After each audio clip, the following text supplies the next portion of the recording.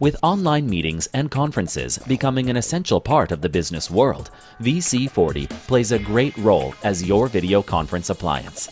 With VC40 set up, you can take full control of your meetings thanks to Kinect motion and voice sensors. You can start by taking control and enjoy a sleek and simple user interface based on Microsoft Lync. You can browse your Lync contacts with their contact cards, including their names, titles, photos, and presence. Reach out to your desired contact and initiate a conference call using either your motion gestures or voice commands. VC40 makes use of the high quality audio and video of the Kinect.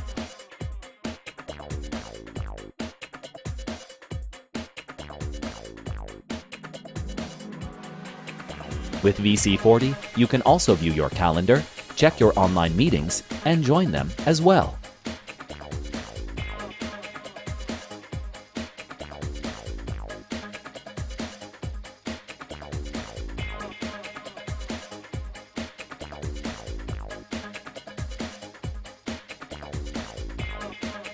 So, how the VC40 works. The console is the main unit of VC40 and it is a multi-control device. It can be controlled via Kinect, touch-enabled screen, mouse, and keyboard. The console operates based on the controller attached, so if Kinect is plugged in, the end user will be able to use gestures and voice commands to control the console. When the console starts, it logs in to the Lync server using the Lync 2013 SDK to get the contacts. It also logs to the Exchange server to get the online meetings. The user can make a Lync call with any contact or join an online meeting.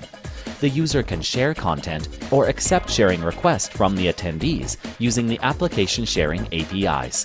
Kinect camera and microphone are used as the default input for video and audio communications. The administrator can use the web control panel to remotely manage the console settings.